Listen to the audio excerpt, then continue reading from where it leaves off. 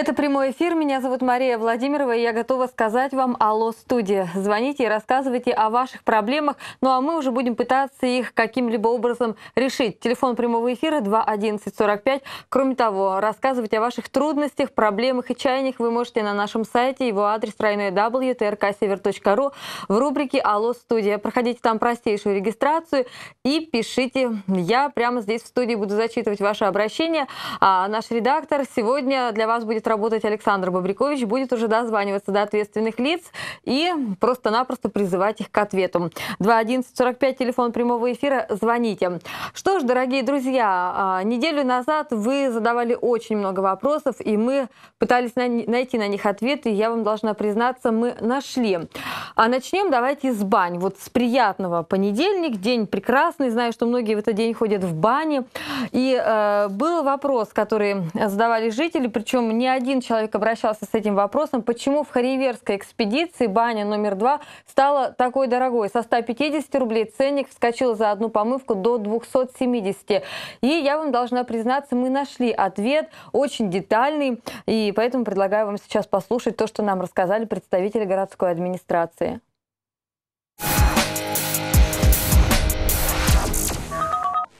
Муниципальном образовании городского округа город Наринмар действует комиссия ежегодная по тарифной и ценовой политике, на которой ежегодно рассматриваются э, размеры платы за услуги, в том числе вот общественных бань, в связи с тем, что льготная категория граждан финансируется за счет э, городского бюджета. В связи с этим, соответственно, собирается комиссия, э, рассматривает финансовое состояние предприятия, которое обслуживает бани и население, предоставляет услуги общественных бань населению, то есть это МУП КБ и БО. Если бы не произошло это увеличение, то бюджету городскому пришлось бы э, муниципальному предприятию КБ и БО возместить свыше 1 миллиона рублей угу. из, из городского бюджета, э, чтобы ну, они могли оказывать эти услуги льготной категории. Значит, изменение, вот это повышение произошло по льготной категории только по посещению в субботу и воскресенье. Понедельник, вторник, среда э, льготная категория может посещать баню, вторую, да, именно, угу. говорится,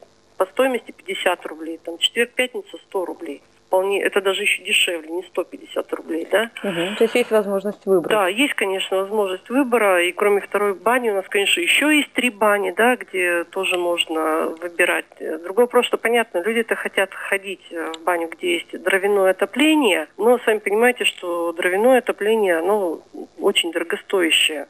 Угу. Вот. Ну и, соответственно, установление такого тарифа 150, ну, мал- маленький размер-то платы есть экономически обоснованный тариф, который рассчитывается ежегодно, который фактически расходы складываются да, по обслуживанию этих бань. И вот по факту 2014 года вот этот размер экономически обоснованного тарифа вообще составляет по баням 332 рубля 50 копеек.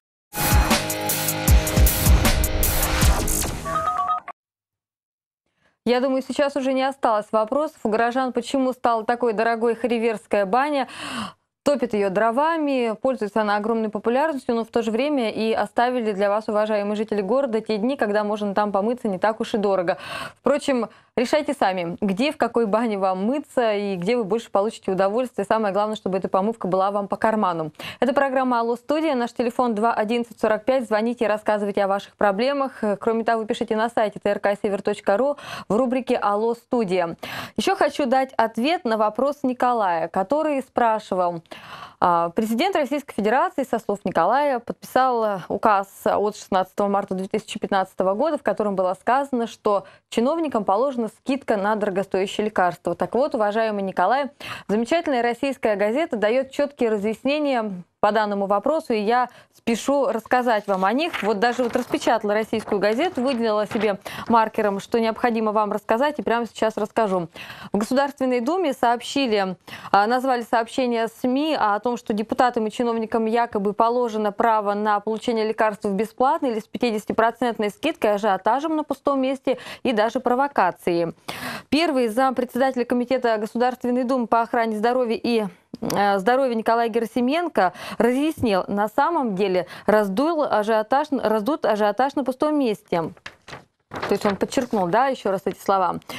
Далее сказано, по его словам, новый президентский указ предполагает бесплатные лекарства всем больным туберкулезом, раком и другими тяжелыми заболеваниями, независимо от того, являются ли они депутатами или чиновниками. Это не какая-то новая льгота, это касается обеспечения лекарственными препаратами групп населения на амбулаторном лечении, которым отпускаются по рецептам врачей эти лекарства бесплатно или с 50% скидкой, рассказал Герсименко.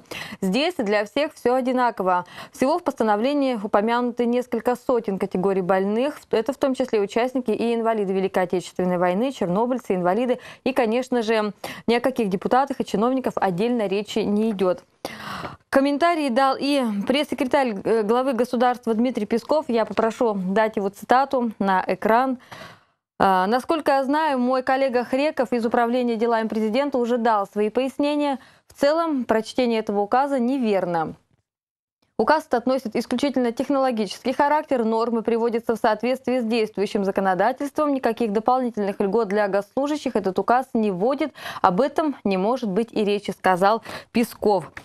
А, вот, в общем-то, теперь, наверное, стало все понятно, что предполагалось указом. Это всего лишь какие-то технические поправки и а, некая московская газета раздула вот такой, получается, ажиотаж, даже некий скандал вокруг э, темы. Ничего плохого президент э, Владимир Владимирович Путин гражданам своей страны сделать, конечно же, не хотел. Что ж, 2.11.45, телефон прямого эфира. Я вас призываю, звоните и рассказывайте о ваших проблемах. Мы будем искать ответы на ваши вопросы. Вопросов на самом деле очень много. Обратились к нам э, жители поселка Индиго. А, ответ на их вопрос мы попробуем сегодня получить чуть позже, потому что руководитель комитета по информатизации находится на совещании. Он попросил позвонить ближе к трем часам, так что вы не переживайте, ответ вы сегодня услышите. А, кроме того, а, спрашивали у нас, почему нельзя проводить экспертизу приборов учета тепла в Нарьинмаре. Если вы помните, с таким вопросом обратилась Светлана Ивановна. Пенсионерка пояснила, что а, приходится платить достаточно кругленькие суммы от двух с половиной до трех тысяч рублей для того, чтобы а, счетчики, проще говоря, тепловые, которые общедомовые отправляют на экспертизу в Архангельск. Вот за это нужно заплатить большую-большую сумму. И, в общем-то, вопрос был следующим. А нельзя ли а, проводить такую экспертизу здесь у нас в Наринмаре? Так вот, сейчас мы попробуем связаться с заместителем директора по КТС Геннадием Францевичем Галишевским, чтобы он рассказал нам, можно ли людям не платить такие огромные средства за то, чтобы их э, приборы учета проверили, протестировали, провели экспертизу. Сейчас мы дозвонимся и попытаемся дать вам ответ. А вы дозваниваетесь 211-45 наш телефон. Мы пытаемся дозваниваться. Вопросов на самом деле очень много, будем пытаться сегодня искать на них ответы. Мне даже хотелось бы э, узнать, кто-то еще а, возмущен этой темой, либо всех все устраивает. И, к сожалению, мы пока так и не можем дозвониться до управляющей компании Наринмар Строй, которая отправляет эти счетчики прибора а, учета, счетчики или приборы учета, да, можно их так и так называть, на экспертизу в город Архангельск, выставляет такие большие счета жильцам. А, понимаете, из чего складывается эта сумма? Потому что, когда мы звонили в прошлый раз, руководитель управляющей компании, вот сходу он нам не смог дать ответ на этот вопрос. Обещал подготовиться. Вот, будем пытаться.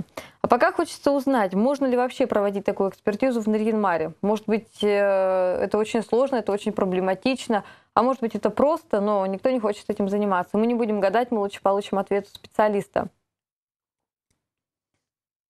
Пока, к сожалению, мы не можем дозвониться. Давайте попробуем позвонить тогда в управляющую компанию Наринмар Строй.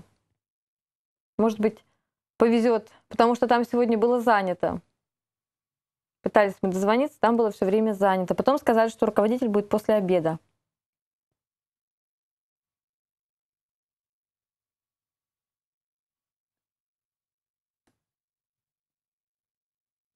Так, а, значит, э, будем пытаться дозваниваться. Давайте ответим на вопрос, Жители поселка Красное. У нас в поселке стоят 10 домов для оленеводов. Обещали их в прошлом году сдать, но, увы, семьи оленеводов так и ютятся в углах. Еще дома сделаны из пенопласта. Давайте сейчас попытаемся найти ответ на этот вопрос. Позвоним мы Алексею Ивановичу Ардееву.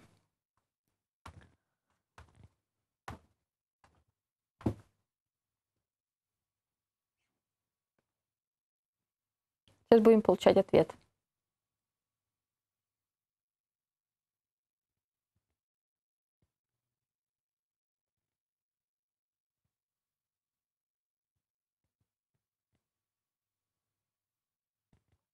Так, у нас есть телефонный звонок. Давайте примем, потом будем отвечать э, для жителей Красного на вопрос. Здравствуйте.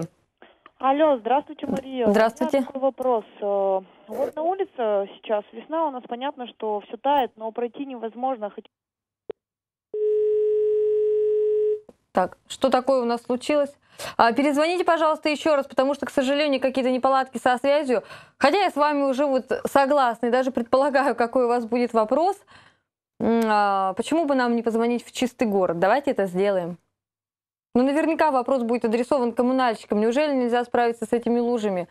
Вот э, должна признаться, что до начала программы мы с нашей творческой бригадой как раз-таки обсуждали эти самые лужи и к выводу пришли к такому, что мы как будто бы опять не ждали весны, мы как будто бы не знали о том, что у нас будет плавать город.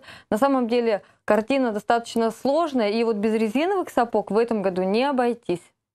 Так что если вы ими запаслись, кстати говоря, вчера была в магазине, ребенку покупала сапоги, и говорят, что они расходятся как горячие пирожки. Так что нужно поза- позаботиться об этом. 2.11.45 наш телефон. А, Да, вот еще и автомобилисты жалуются, то, что очень плохо у нас э, содержатся дороги, проезжая часть. Мало того, что лужи, наверное, где-то еще имеются и наледи такие, вот как они называются, ямы. И ямы имеются. В общем, давайте будем дозваниваться везде и всюду и искать ответы. А я прошу э, телезрительницу нам перезвонить, все-таки рассказать, что же она хотела. Мы, конечно, предположили, и а, давайте будем звонить уже куда-нибудь и получать ответы.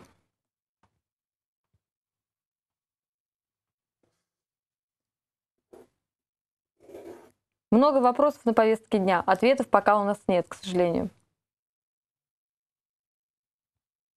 Когда в Красном сдадут дома для оленеводов?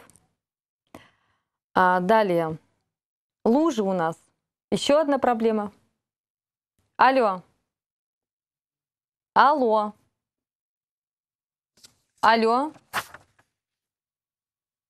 Тоже сорвался. Что-то у нас сегодня прям какие-то неполадка на неполадке, но я думаю, что понедельник день тяжелый, вот этим можно оправдаться, хотя не имеем права этого делать. Давайте дозвонимся по домам в Красном, пожалуйста.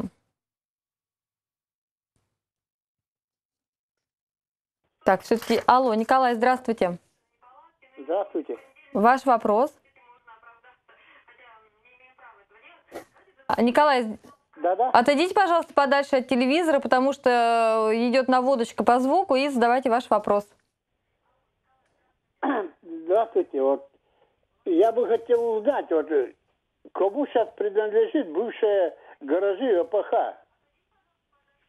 Так, а что, у вас какой-то интерес есть? Нет, там сейчас у них склады, старые склады, деревянные, люди разбрасывают, везде шифер, доски летят. А где они находятся? Они, они там на Пустозерской 5, э, около Пустозерской улицы там находятся. Вот. Улица Пустозерская. То есть и э, эти гаражи, получается, бесхозные сейчас? Ну, на ваш взгляд, они бесхозные, либо ОПХ за Не ними не знаю, следит? кто-то- Там кто-то должен, чья-то территория она, вот так?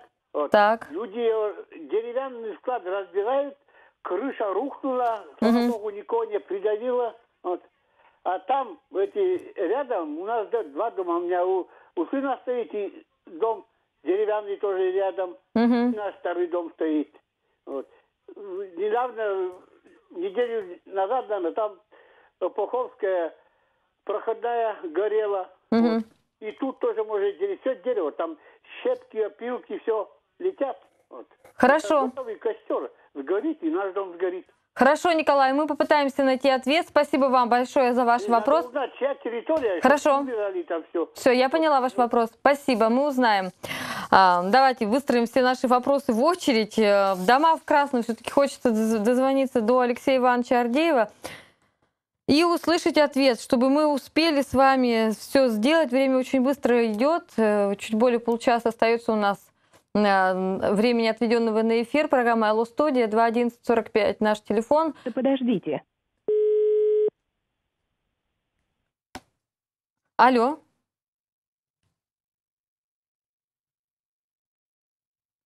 Так, мы пытаемся дозваниваться.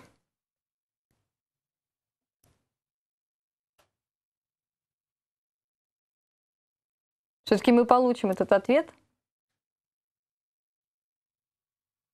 Так, будем пытаться еще, как мне подсказывают. Что ж, э, вопросов у нас много. А, может ли предприятие по КТС заниматься экспертизой счетчиков э, учета тепловой энергии? А, когда в Красном будут сданы дома для оленеводов? Когда в Индике появится цифровое телевидение? А, более того, Николай хочет узнать, кому принадлежат гаражи опытно-производственного хозяйства, потому что они представляют угрозу для жителей близлежащих домов. Будем искать ответы. Вот такая наша работа, все равно мы их найдем. 211-45, телефон прямого эфира. Звоните. Я пока посмотрю, не поступило ли вопросов на наш сайт в рубрику «Алло, студия». Тоже можете туда писать www.trksever.ru в рубрику «Алло, студия». Вот все вопросы, которые туда поступали, мы ответы на них находили. Найдем и в этот раз. Так что не стесняйтесь активно принимать участие в нашей программе. Мы попытаемся решить все ваши проблемы, чтобы вопросов не оставалось. Вот действительно говорят, понедельник день тяжелый, очень тяжелый. А мы еще пытаемся искать ответы на острые вопросы.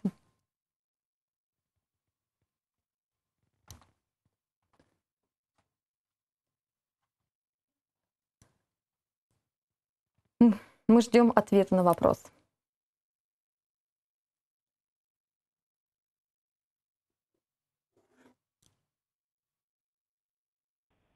Алло. Да, здравствуйте. Геннадий Францевич, здравствуйте. Это программа «Алло, студия», прямой эфир, Мария Владимирова. А, поступил вопрос от телезрителей. Нельзя ли проводить экспертизу э, приборов учета тепловой энергии здесь, на Ринмаре, без отправки в Архангельск? В частности, на базе предприятия объединенных котельных и тепловых сетей, непосредственного поставщика этой, э, этого ресурса. Вы можете ответить на этот вопрос? Приборов учета. Э, и, значит, э, такого, такой услуги не на базе по КТС и нигде в городе пока, к сожалению, нет, поскольку ну, это довольно дорогостоящее э, мероприятие. Угу. Так что пока помочь ничем не можем. Как бы есть такие планы, но надо знать, откуда и кто сможет финансировать такие вещи-то. Угу. А, то, есть, да, а? то есть на сегодняшний момент вся э, проблема упирается только в финансирование? Ну да, там стенды, которые поверочные, ведь, ну, речь ведь идет не только там о водяных счетчиках, а да, и тепловые, да. и газовые, ну, всевозможные угу. приборы учета. Э, и стенды эти достаточно дорогие, они от полутора миллионов и больше. Угу. Ну, вообще, в целом, ваше предприятие могло бы оказывать такие услуги? Да, конечно, могло бы, почему нет-то. Угу. А ну вот а, для решения этой проблемы куда-то обращались, быть может, это в плане какой-то там некоммерческой деятельности предприятия, еще? Ну, мы об этом разговаривали на уровне города, поскольку это наши учредители. Вот, ну, как бы так быстро этот вопрос не удается решить. Все. Угу, угу. Что ж, ладно, я вам пожелаю тогда удачи в решении этого вопроса, Геннадий Францович, потому что люди звонят, люди говорят о том, что слишком дорого отправлять на экспертизу в Архангельск. Хотелось бы вот здесь на месте все это дело проводить. Да, безусловно, мы это тоже прекрасно понимаем. А, кстати говоря, как часто нужно проводить эти, эти экспертизы, чтобы понимать людям, как, как часто им придется платить такие достаточно круглые суммы? Ну, смотря что, например, если На тепло. речь идет э, об элементарных э, узлах учета, это типа горячая и холодная вода, угу. то там э, для холодной воды 6 лет, один раз 6 лет, для горячей один раз 4 года. И по нынешним временам получается, что поскольку в Архангельск отправить этот прибор, ну, довольно накладно, и тоже же заплатить надо потом угу. за эту э, поверку, э, то дешевле купить новый. новый прибор и просто его заменить. Ну, а что касается тепловых счетчиков, они тоже недолго стоят, 4-5 лет, смотря в зависимости от типа. Угу. Угу. Вот, как бы довольно часто. Довольно-таки часто, да. Ну что ж, спасибо вам большое за ответ. Всего доброго. Угу. Удачного дня. До свидания. Что ж, э, я думаю, Светлана Ивановна сейчас ничуть не утешилась, потому что, ну, пока нет такой возможности, нет, вернее, финансовых средств для того, чтобы проводить э, экспертизу счетчиков здесь у нас на Рильмаре. Пока что достаточно часто придется отправлять их в Архангельск и платить достаточно круглые суммы. 2.11.45 наш телефон, программа Аллу Студия. Кроме того, пишите на сайт э, тройной w.trksever.ru в рубрику Алло Студия, проходите простейшую регистрацию и задавайте ваши вопросы. Что ж, э, есть у нас еще один вопрос, на который нам нужно получить ответ, когда же в Красном сдадут дома для оленеводов. А, набираем мы Алексея Ивановича Ардеева, чтобы получить ответ. Вот интересуются жители поселка, потому что оленеводы не могут уже э, получить долгое время, еще с прошлого года, жилье. Они вынуждены ютиться по углам. Более того, того, с их слов, дома сделаны из пенопласта. Так, к сожалению, пока трубку никто не снимает. Будем пытаться дозваниваться. Я думаю, что подойдут. Э, обед уже должен закончиться 14.30 на часах. А, по крайней мере, где-то вот-вот и появится, наверное, у нас ответ на этот вопрос. 2.11.45 наш телефон. Звоните и рассказывайте о ваших проблемах. Давайте тогда еще будем дозваниваться в компанию «Чистый город». Давно мы с ними не общались, давно мы не спрашивали, почему у нас лужи не убираются. Я думаю, что ответ мы получим исчерпывающий. Вот так бы исчерпывалась вода из луж по которым мы с вами ходим в сапогах резиновых, кто-то и без сапог. Даже, по-моему, для детишек в этом году не очень великая радость, э, такие огромные лужи, потому что в них особо ты не поиграешь, разве что можно залить обувь и прийти домой с сырыми ногами, с мокрыми. Компания «Чистый город» будем пытаться получать ответ. К сожалению, вот телезрительница так и не перезвонила и не рассказала до конца свой вопрос. Видимо, мы отгадали – что она хотела узнать, что она хотела спросить, и сейчас тоже будем узнавать у тех лиц, которые непосредственно этим занимаются. Ну и вот я думаю, что Николаю мы все-таки по гаражам, которые принадлежали ОПХ, тоже сегодня ответим. Ну а вам напоминаю, 2.11.45 наш телефон, это программа «Алло, студия», мы в прямом эфире. Звоните, задавайте вопросы. Еще в студии сегодня должен появиться мой коллега Олег Танзейский. Он разбирает одну очень щепетильную тему, очень трепетную, пока ее не буду озвучивать. Вот как только он появится с последней информацией, он обязательно сюда придет и расскажет. Потому что большого числа людей касается та самая информация, которую он разрабатывает. 2.11.45 наш телефон. Пытаемся, пытаемся мы дозваниваться. К сожалению, пока не идут на контакт с нами ответственные лица. Вот, наверное, плывут где-то по ложам, не могут доплыть до работы. Надеюсь, что приплывут сегодня. Потому что время у нас еще до окончания программы имеется. Более того, я вас приглашаю, уважаемые жители города, сюда вот за эту замечательную красную стойку. Она предназначена для того, чтобы либо жаловаться, либо отвечать на вопросы. Пока вот только к нам приходят те, кто отвечает на вопросы, и то мало приходит, потому что, а, видимо, не хочется отвечать на очень щепетильные вопросы.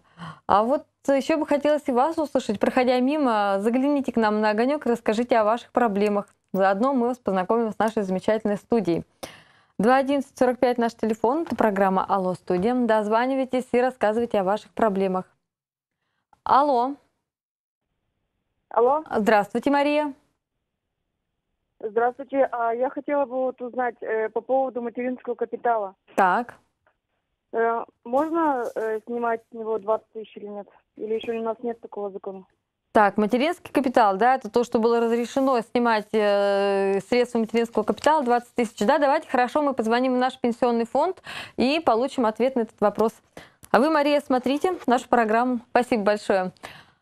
А, вот видите, сколько программ выходит, и все вопросы всегда разнообразны. Даже невозможно угадать и предугадать, о чем будут спрашивать жители. Кстати говоря, материнский капитал, э, как вот было сказано в одной из программ, здесь, в нашей студии, программа «Законодатели», э, председатель нашего правительства Дмитрий Анатольевич Медведев сообщил о том, что Материнский капитал продлевается до 2017 года. Я думаю, что это замечательная новость для тех, кто рассчитывал, по крайней мере, на эти средства. Потому что, напомню, ранее была информация о том, что он заканчивает свое действие, он, это материнский капитал, в 2016 году. Что ж, материнский капитал, э, дома в красном и ситуация на городских дорогах, вернее, на городских ну и дорогах, и тротуарах, тут можно все вместе рассматривать. Все это Алло, добрый день. Здравствуйте. А, вас беспокоит программа «Алло, студия. Прямой эфир». Думаю, что вы нам очень сильно рады. Жители спрашивают, как долго мы будем плавать и будут ли откачиваться лужи с городских тротуаров. Вы можете пояснить этот ответ на этот вопрос? в бухгалтерию позвонили. Нет, мы не в курсе. Переведите нас, пожалуйста, куда надо. Вам надо по номеру 4 2053 перезвонить. 2053, спасибо большое. Сейчас мы перезвоним не в бухгалтерию. Кстати говоря, вот каждый раз иду и вижу на жилетках э, трудяг э, предприятия «Чистый город» номера телефона, все время говорю, что запишу, потому что пригодятся. Но, к сожалению, так вот проходя мимо и прохожу, ничего не записывая.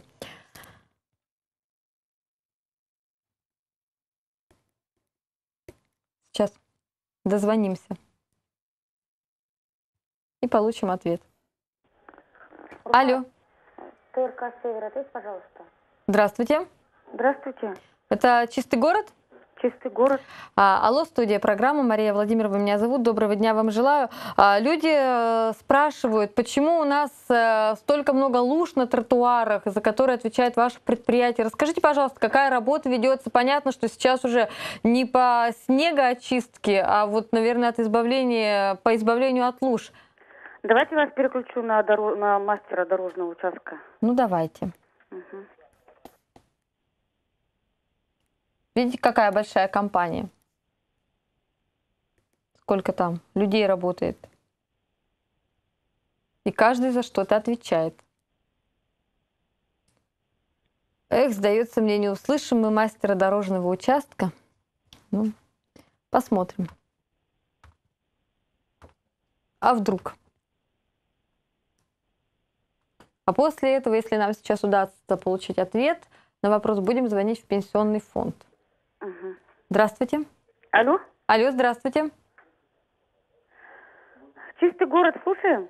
Вас беспокоит программа «Алло, студия», прямой эфир. Меня зовут Мария Владимирова. Расскажите, пожалуйста, какие работы ведутся по уборке города от талых вод и от снега, который еще остался? Потому что горожане жалуются не пройти без резиновых сапог. Ну, понятно. Вы ожидали?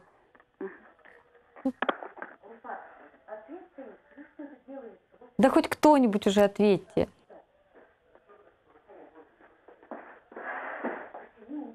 Сейчас опять буду повторять вопрос, видимо.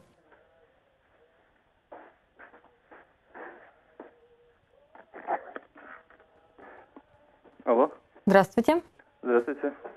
Программа «Алло, студия», прямой эфир. Меня зовут Мария Владимирова. Вот уже третий раз повторяю вопрос. Люди интересуются, когда же у нас э, лужи исчезнут с тротуаров и снег, остатки будут вывезены? Снег у нас водится, 5 самосвалов, 2 МКДОРа, 2 лососные машины на дорогах работают. Угу. Дружно рабочие делаем, что можем. Угу. А вот нельзя ли как-то с тротуаров откачивать, быть может, э, лужи? А тротуары, подскажите, как сделал, подскажите нам проблему, давайте направим туда. Где именно? Какой адрес? Давайте решим. Конкретно. Где? Вот, около первой школы, например. Там вообще огромная лужа, и весь вот это вот, весь такой небольшой парк, он весь, например, залит водой. Так, там утром там лед еще был. Да, лед был, а сейчас все растаяло.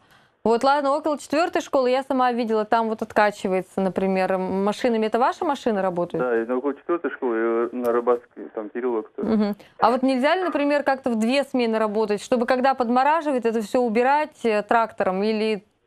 Да, у нас две смены работаем, мы две смены работаем с 1 февраля уже. Угу. Понятно. А какие у вас еще перспективные планы? Вот э, активное таяние, когда начнется, хватит техники, хватит... Э, лю... Кстати, людей-то много у вас в жилетках ходит, вот чистый город. Понятно, что люди работают. Я не скажу, что нет, не работают. Работают. Только, видимо, чего-то не хватает. А чего? Я не знаю, чего вам не хватает, но так-то люди работают. У нас МКСМки выпустим, наверное, мы просто уберем, наверное, у них уже ковши, поставим на щетки и по паркам, скверам, по площадям, которые вы имеете в виду, вот эти тротуары имеете в виду, да? Угу. наверное, пустим МКСМки с щетками уже, чтобы Что мы, наверное, так. А что там, лед они будут щетками чистить? Почему? Вы же сами говорите, лед он был, сейчас там лужи. Вот в луже это и будем, наверное, сметать. А, р- разметать, получается. Ну да. Ага, понятно. Ну а когда лето придет, э, какая у вас будет, какая работа будет проводиться? Когда уже снег сойдет?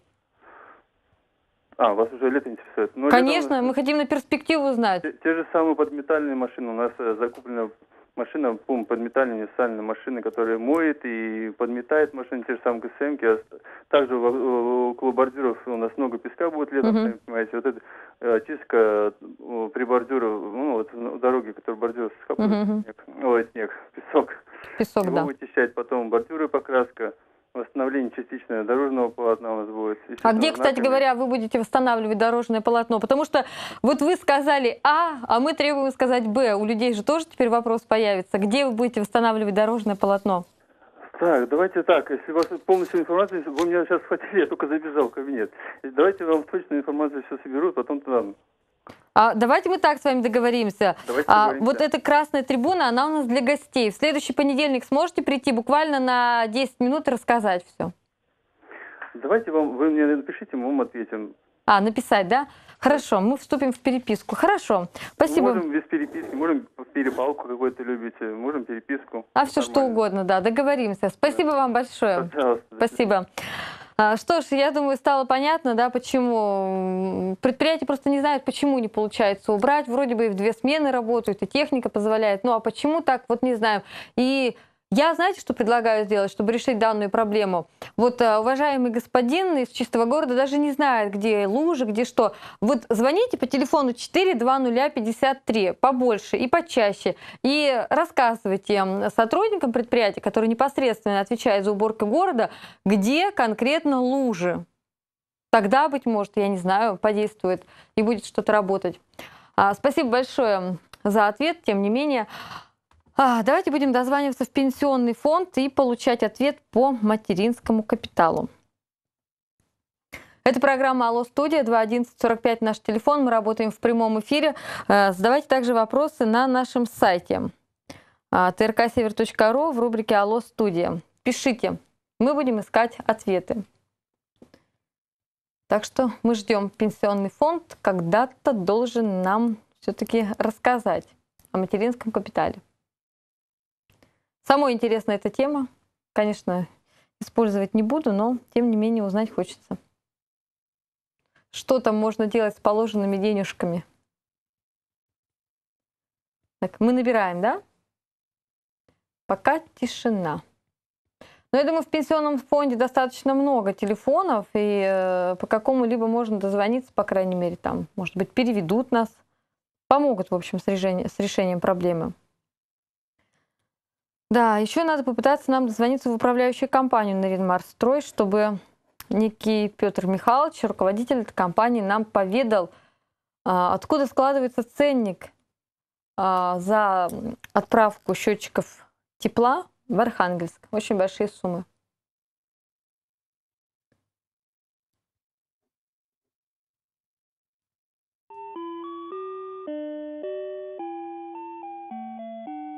Так, я попрошу э, сказать режиссеру, куда мы дозвонились. Спасибо. Пенсионный фонд.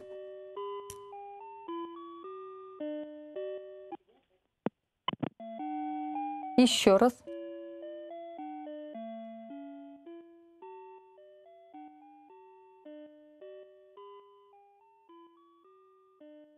Очень приятная музыка, успокаивающая. Вот надо во всех организациях поставить такую музыку, чтобы люди вот расслаблялись, пока слушали. Девушка, там, к сожалению, пока нет никого на месте. Будьте добры, чуть позже. 457-71. 457 71. Спасибо большое. До Пожалуйста. свидания. До свидания. А, Это вот мы так вот пообщались с пенсионным фондом. А, Давайте попытаемся позвонить все-таки Алексею Ивановичу Ардееву по домам в Красном. Ну, просто уже будет неприлично. Мы а, до эфира звонили, он сказал, что будет на месте и обещал дать ответ. В общем-то, никогда проблем не возникало с этим руководителем. 2 11 45 телефон прямого эфира. Ждем еще Олега Хтанзейского, напомню. К сожалению, не могу видеть, приехал он с одного мероприятия или не приехал. но обещался то, что придет к нам в студию и расскажет. А что расскажет, пока не скажу. Звоните и пишите на сайте trksевер.ру в рубрике «Алло, студия». Задавайте ваши вопросы, мы будем искать на них ответы. Так, Ардеев у нас не берет трубочку. Ладно, давайте позвоним еще руководителю управляющей компании э, Наринмар Строй Петру Михайловичу Шевелеву. Он нам обещал еще неделю назад дать ответ на вопрос, который задавали телезрители.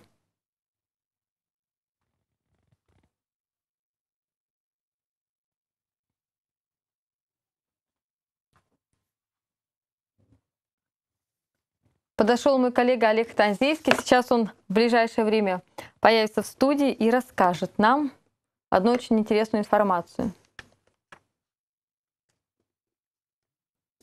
211-45 наш телефон. И нам звонят, и мы дозваниваемся. Получаются небольшие такие вот накладочки, но тем не менее мы сейчас а, разрулим.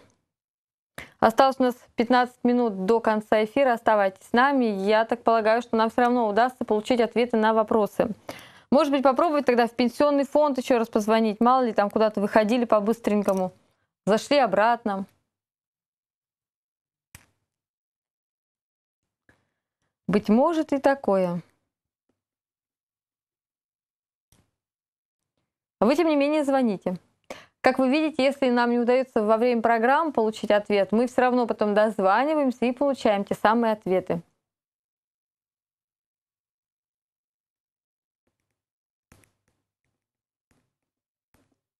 Напоминаю, что если а, у вас возникли вопросы по номеру нашего телефона или адресу сайта, вот на наших замечательных экранах есть вся информация. Можно ее увидеть.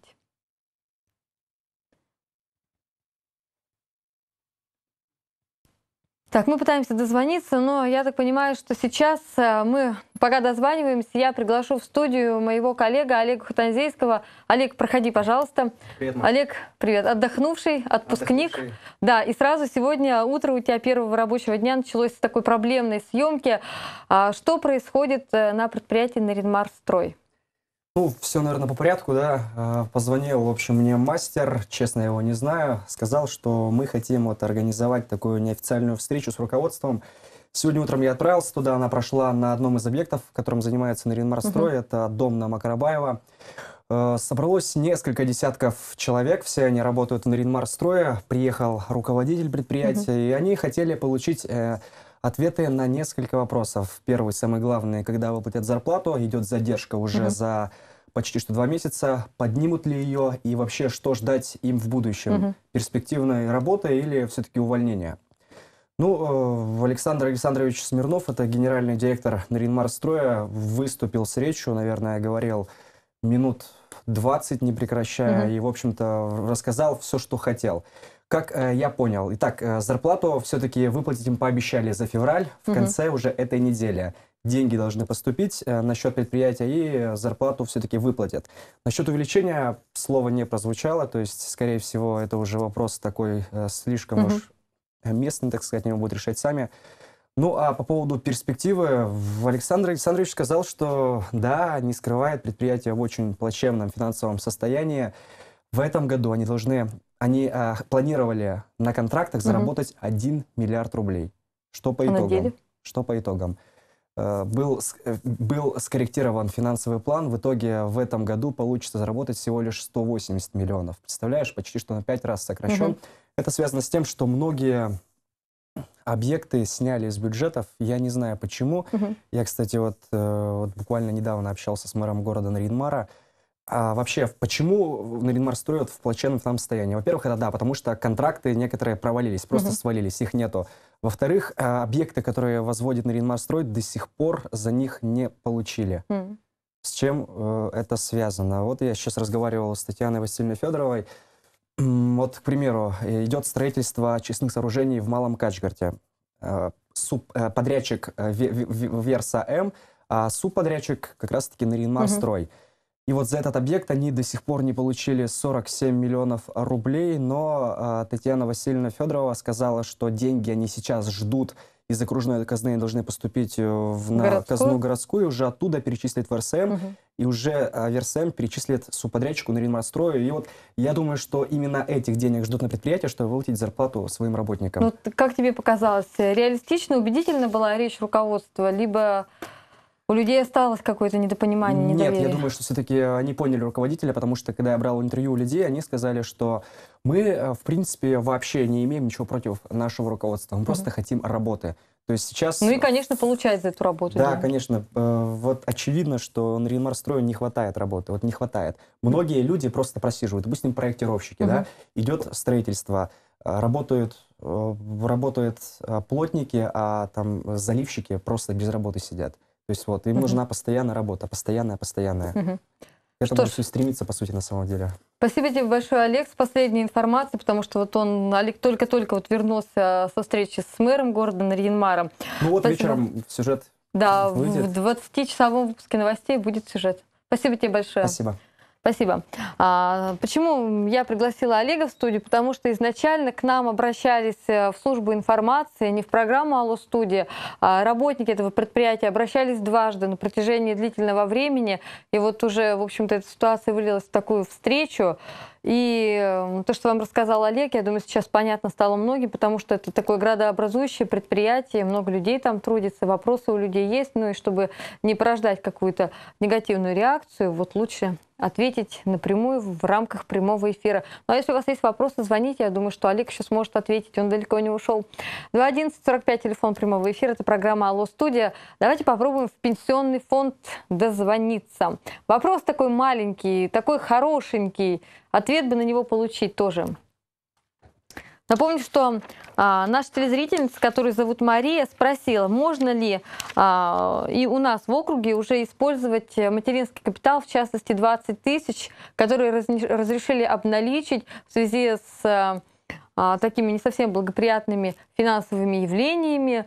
Ну, насколько это все распространено на наш округ, все-таки средства эти федеральные, надо узнать. Позвоним в пенсион- пенсионный фонд э, и спросим. И дома для оленеводов. Прям вот сегодня мы с самого начала программы пытаемся дозвониться, но, к сожалению, пока ответа не получаем. Так, что ж, пенсионный фонд ответил, что без разрешения руководства комментариев по данному вопросу они давать не будут. Но давайте позвоним э, господину Афонину, руководителю пенсионного фонда, и выясним у него все. Почему бы и нет? Я думаю, что руководитель как раз-таки и в курсе. Все-таки очень много у нас здесь распорядителей материнского капитала. И всем хочется знать, почему бы и нет. Законное право. Самое главное нам дозвониться. После этого попробуем позвонить в комитет по информатизации и узнать про цифровое телевидение в Индиге. Тогда, быть может, у нас сложится картинка определенная. Дозванивается наша редактора, я так понимаю. Сейчас будем пытаться получить ответ. А я вам напоминаю, что это программа «Алло, студия», наш телефон 21145. Звоните и рассказывайте о ваших проблемах. Кстати говоря, если у вас есть какой-то очень глобальный вопрос, требующий проработки, вы можете его в одной программе задать, а мы в следующей программе будем давать на него ответ развернутый, потому что даже нам иногда не удается очень быстро получить ответы на те вопросы, которые вы перед нами ставите. Вот как, например, до сих пор мы не можем получить ответ на вопрос про понтонный мост, который должен был установлен быть на, по дороге в Тельвиску. Вот мы тоже до сих пор не можем найти ответ на него. К сожалению, комментатор есть, но прокомментировать он нам это не может в силу того, что у него не хватает времени. Видите, так что позаботьтесь о ваших вопросах заранее. Мы будем искать на них ответы. Добиваться, так сказать.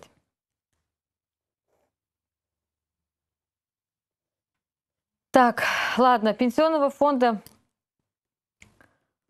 Пенсионного фонда у нас сегодня не будет. В эфире руководство а, этого а, учреждения отказалось от комментариев, сказав, чтобы граждане самостоятельно звонили и, видимо, в индивидуальном порядке получали а, ответы по телефону 457 71. Так что, Мария, позвоните, потом расскажете нам, а, что же, что же нам предлагает пенсионный фонд делать с этими самыми 20 тысячами, которые можно обналичить, и как это можно сделать? Вот тоже, наверное, позвоню, узнаю, а в следующей программе вам расскажу. И э, время у нас, к сожалению, уже остается очень мало. Давайте попробуем позвонить в комитет по информатизации Шамову Виктору Анатольевичу и расспросить у него все про цифровое телевидение в поселке Индиго.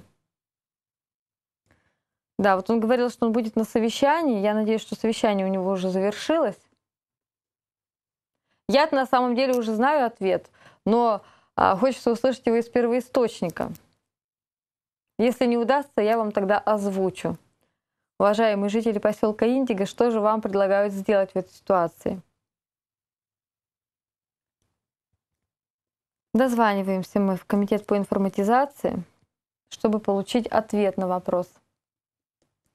Очень быстро проходит 50 минут эфира, на самом деле, а, со всеми дозваниваниями, с поисками контактов. Время пролетает очень быстро, и получается, что э, на небольшое количество ответ, э, на небольшое количество вопросов мы успеваем дать ответы. Но тем не менее, какие-то шаги делаются, мы берем в проработку ваши темы, и даже а, зачастую выезжают съемочные группы по адресам, которые вы называете. И вы знаете, вы можете звонить нам и приглашать нашу съемочная группа прямо в рамках программы приедет к вам, снимет, и мы, э, что называется, в режиме онлайн покажем, что творится на том или ином участке нашего города. Так, комитет по информатизации у нас тоже молчит, видимо, на совещании. Хорошо, давайте, пока я буду давать ответ на этот вопрос, позвоним еще мы Алексею Ивановичу Ардееву по домам в Красном. А, а жители Миндики а, вот как нам прокомментировали до программы этот э, ответ. В Индиге цифровое телевидение имеется, 10 каналов. А не работает оно из-за того, что там произошла авария. И вот э, на этой неделе в Индигу прилетят специалисты и будут устранять ту самую неполадку, благодаря которой, в кавычках, конечно же, не работает, не показывает цифровое телевидение, те 10 каналов, которые установлены для жителей поселка Индиго. Что ж, дожидайтесь мастера или мастеров, сколько их там будет, я не знаю, но, наверное, будут брошены все силы на то, чтобы устранить неполадки, и вы снова сможете смотреть цифровое телевидение в поселке Индиго. Вот такой вот ответ и прозвучал бы от руководителя комитета по информатизации. Ну и а, а, давайте позвоним Алексею Ивановичу Ардееву. Не выходит, тоже говорят, на контакт. Вот, вот, вот так вот. Заранее записывать тоже не хочется, потому что хочется поговорить с людьми в прямом эфире. А, что ж, а, я так понимаю, что мы тоже не получим сегодня ответ на этот вопрос. Тогда сделаем следующим образом. А, традиционно на следующую программу мы будем а, уносить э, те вопросы, которые, на которые мы не смогли дать ответы вам сегодня. Вопросов получается достаточно много. Это и дома в красном для оленеводов, это и гаражи, которые принадлежали ОПХ. Вот Николай хочет знать, э, что же с ними, кому они принадлежат, потому что сейчас эти гаражи э, или склады да, представляют угрозу а, для жителей близлежащих домов. Ну и вот уже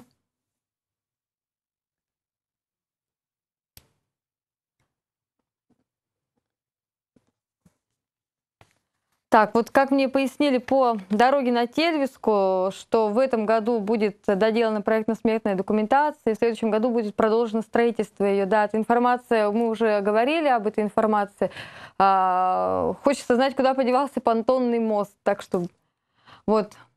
Нет, понтонного моста, сказали, там не будет, будет э, капитальный мост э, поставлен в село Тельвиска.